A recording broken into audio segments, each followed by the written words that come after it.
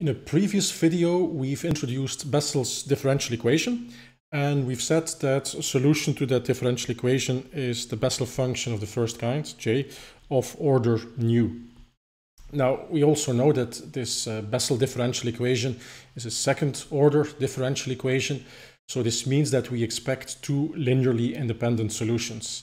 And the second linearly independent solution is, you guessed it, it's the Bessel function of the second kind, which is denoted by this y here. So again, it has an order nu and it's a function of x. Now this uh, Bessel function of the second kind is sometimes also called the Neumann function and then it's written with an n, so that's just some terminology. So now we have a new member to the, the family of uh, Bessel functions. It turns out, I'm not going to prove that here, that there's an explicit formula for this Bessel function of the, the, the second kind, and that's the following.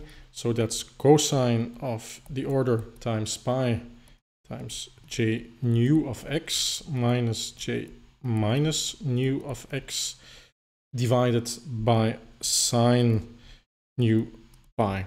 So this is the explicit formula for the Bessel function of the second kind.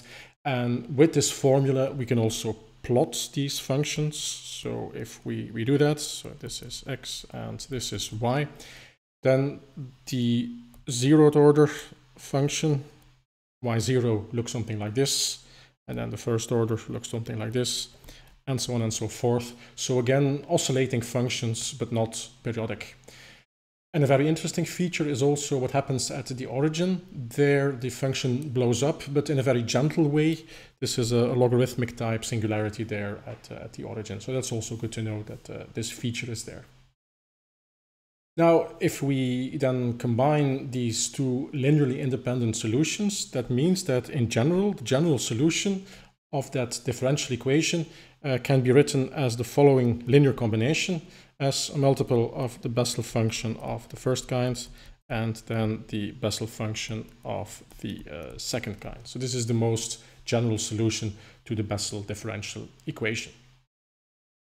However, there are some more games you can play with these uh, new functions that we've introduced.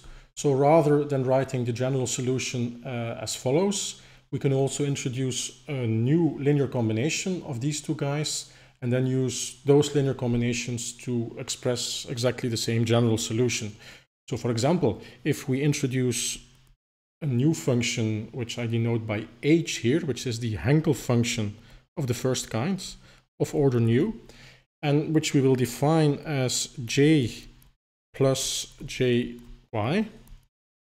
And then if we introduce a Hankel function of the second kind, which is equivalent but with a minus sign over here.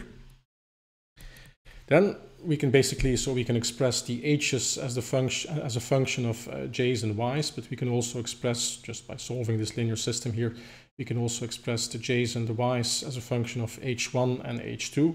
And if we substitute that in here, we can also say that a general form of the solution to Bessel's differential equation can be written as the following linear combination as c Hankel function of the first kind plus the Hankel function of the second kind. Now, you might think this is rather cruel to force yet another uh, set of members of the, the family of the Bessel functions to you, uh, because, yeah, basically j's and y's should be more than enough.